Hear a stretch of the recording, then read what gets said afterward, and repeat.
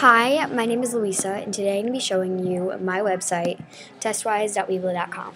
So, I've had a lot of trouble with schoolwork in the past, so I decided to make a website to help kids that share my problem do better in school because they're totally capable of that.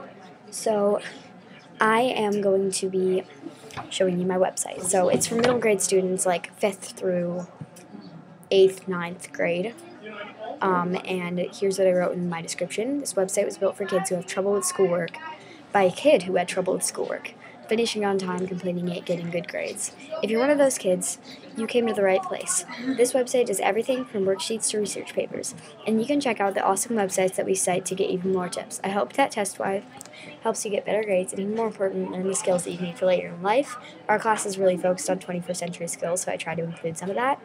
Click on Schoolwork Help you will be um, taken into um, the tips on homework, essays, and tests. So just right here, um, there's going to be sources, and I looked at a lot of websites. So there's a ton of sources here, and you can go check them out if you go check out my website. A lot of them are like really good. Some of them are college uh, websites teaching English from um, British Council and Good Luck Exam are really, really, really good websites that I use a lot.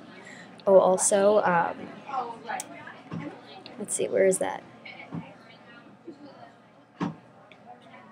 There was, oh, in Time for Writing is really good too. Um, so I have three different types of blog posts. First, homework. And I have a bunch of homework and this and that and this and that and this and that. Um, preparation, workbooks.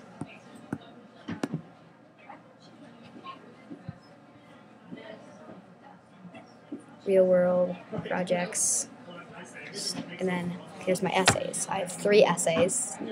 So I have essays descriptive, expository, persuasive, placement for test. Test begins here. And my blog posts work like this.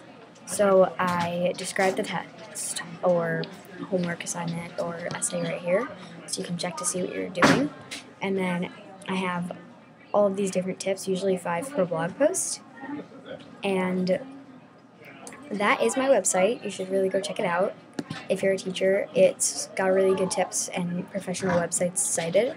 So please go check it out and